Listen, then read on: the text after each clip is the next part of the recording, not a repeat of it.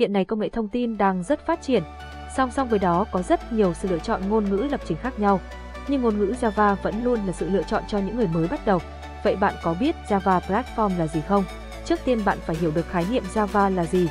Java là ngôn ngữ lập trình và là nền tảng điện toán máy tính để phát triển trên ứng dụng máy tính di động và nhiều thiết bị khác. Thế còn Java Platform, chúng ta cùng tìm hiểu về Platform là gì nhé. Đầu tiên, Platform là một nhóm các công nghệ được sử dụng làm cơ sở cho các ứng dụng, quy trình hoặc công nghệ khác phát triển tiếp. Còn Java Platform là một tập hợp các chương trình giúp phát triển và chạy các chương trình được viết bằng ngôn ngữ lập trình Java. Học viện đang có chương trình giảm 30% học phí tất cả các khóa học trong tháng này. Đăng ký ngay để nhận ưu đãi.